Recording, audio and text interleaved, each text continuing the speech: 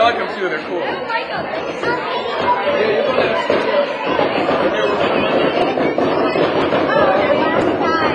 Check out your wings. Good job, Alicia.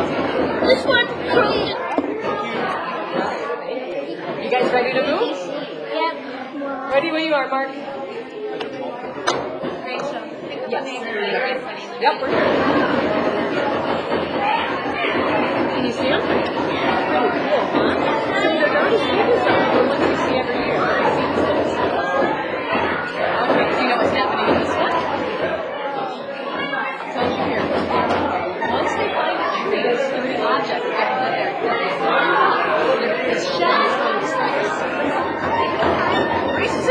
So that's a clue.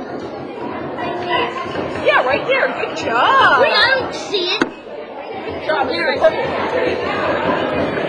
Great job, guys. Do you know where Africa is? Good job. Boy, you guys are smart. Where's North America?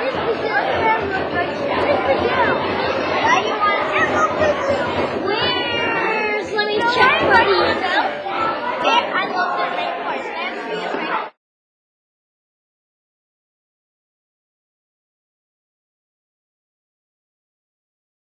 eggs and things. Small little things go in the ground, and look at how many there are.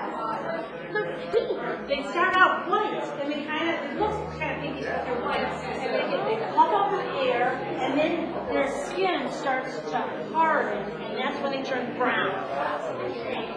But it's a feast for animals. But you know, it's a big, it's not a big deal because they're, they're ends, they have to have their ends separate. And then the female is laying her eggs. You see the little stick-like thing right there? The egg is transferred from her body into the, s- the twig. And the twig is no bigger than a pencil, so it's pretty. No, um, I, I don't think they have to pronounce it. It's a pencil, okay? I think it's a sugar cookie. You're welcome. Here we go, guys. Here we go, potato cookie.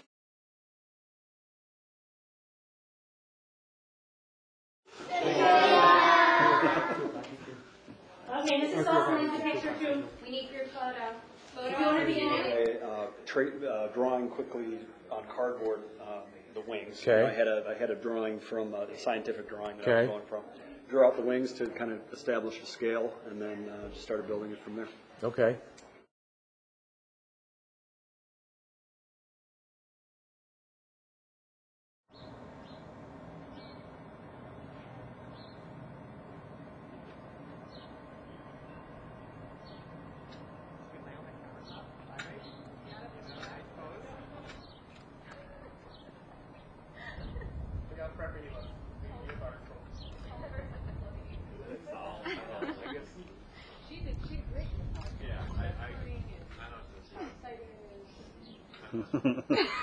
I'm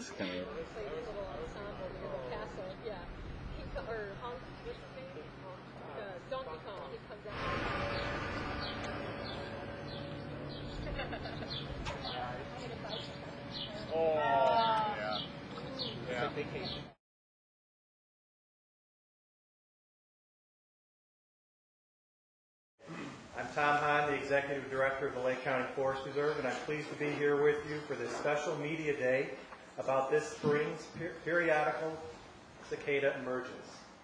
A periodical cicada emergence is one of the most unusual and spectacular natural events on Earth. Cicada Mobile will have a costume contest and parades, resources you need to accurately cover this amazing natural event. If you have deals for, for lending us mounts of cicadas from around the And what I, the advice I tell people is to talk to your neighbors. you know, if the emergence was heavy in 1990, it's going to be heavy again. It would definitely um, affect an outdoor event if you're in a heavy emergence area. So I just tell people, talk to your neighbors, find out if you're in that area.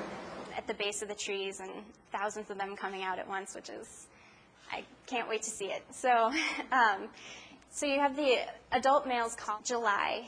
We'll begin to see some branches browning where the females lay their eggs in the twigs. It it can cause the um,